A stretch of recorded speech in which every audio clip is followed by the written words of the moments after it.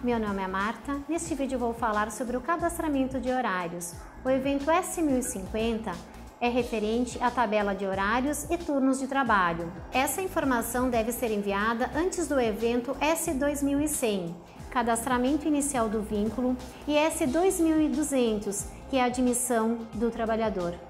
Para que esse dado seja prestado de forma adequada, é necessário que essa informação esteja correta no cadastro de cada empregado.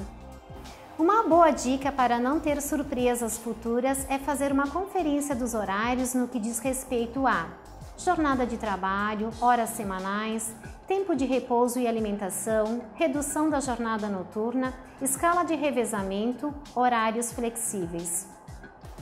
Lembre-se que o horário informado e social sobre cada trabalhador deve refletir as horas trabalhadas por ele. Empregador, trabalhe de forma preventiva e assim terá as rotinas mais tranquilas dentro da organização. Faça a diferença no mercado de trabalho.